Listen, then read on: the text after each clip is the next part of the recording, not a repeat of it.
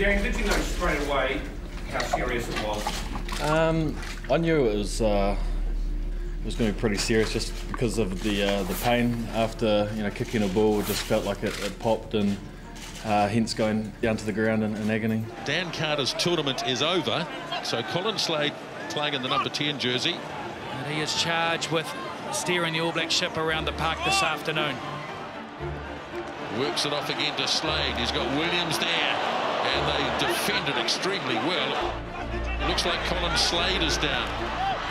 The 10 jersey of Poison Chalice at the moment for the All Blacks. The time is here for the Rugby World Cup final of 2011.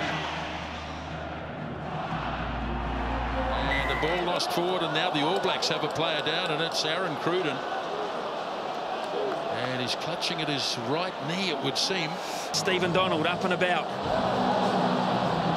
Just uh, the white bait net hits the wake for a more important occasion.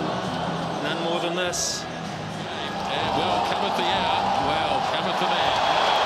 Now, who's going to do the goal kicking? That's the question. Stephen Donald striding forward. Yeah. Pointing to the posts. Confidently too, and I like that.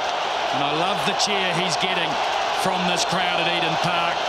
This man's copped a bit of criticism in his time, but he's a guy that the All Black players love and respect. And so cometh the hour.